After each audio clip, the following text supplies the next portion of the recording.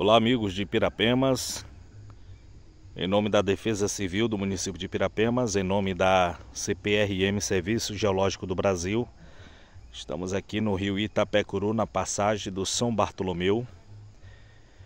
E o observador Raiveras fazendo um monitoramento aqui do rio, aqui com as réguas, tá?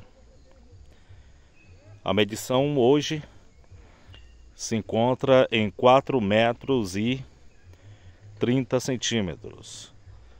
A normalidade do rio Itapecuru aqui em Pirapemas é de 2,40, 2 metros e 40. Tá? Então aí tá faltando aí 2 metros e pouco para chegar à normalidade. Desceu muito e a gente da Defesa Civil, da CPRM Serviço Geológico do Brasil, fazendo monitoramento. Olha aqui, ó, para você ter uma noção do tanto que baixou.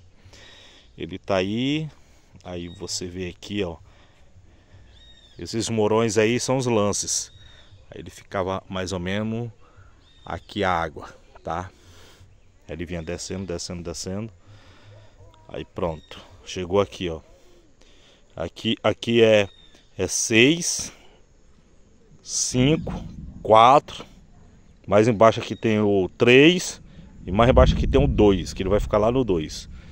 No lance de 2 metros, tá bom? Forte abraço a todos e acompanhe uh, as atualizações aqui nas redes sociais.